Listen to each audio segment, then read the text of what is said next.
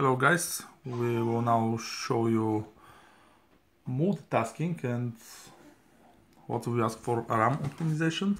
So let's find out how this phone with this update will cope with it. So let's just start with not that heavy apps like WhatsApp and Duolingo, and then Twitter and probably Google Chrome and then what else? YouTube.